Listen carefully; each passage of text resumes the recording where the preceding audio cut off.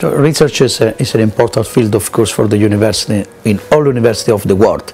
The evaluation of the reason, of course, is difficult. What we have a problems in Italy is the, also in Europe, I think, is the humanities as social science, because uh, bibliometrics methods are not very popular, are not standardized system. We choose three different systems. We use this system to evaluate departments.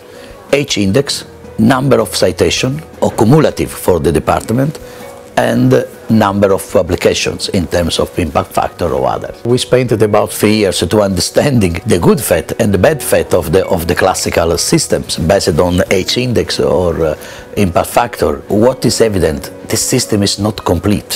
For example, open access and the journals like PLOS ONE, the number of download is a method for evaluation or not?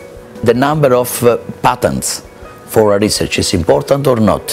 The number of uh, invited to conference or important meetings in the world is an important aspect or not? We need to have a complex system because the science and the research is a complex system and we need many indicators to evaluate the progression of the role of this scientist in a specific department or in a single uh, university or in a single science field. Therefore, PlumX is a, is a good system for me in order to put together many different indicators for evaluation research. As a rector, uh, uh, a system like this could be very important for me in the future in order to distribute resources at different departments or in different group of research to assign particular money or possibility for PhD numbers to this particular field or not. I think this could be also useful for uh, a single researcher in order to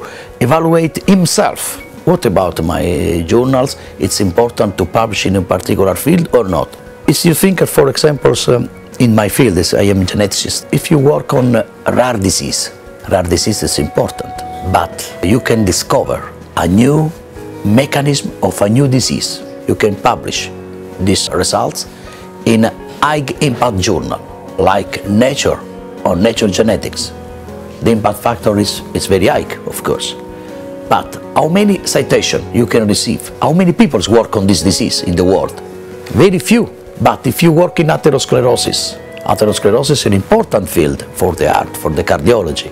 Many people in the, in the world work on this particular field.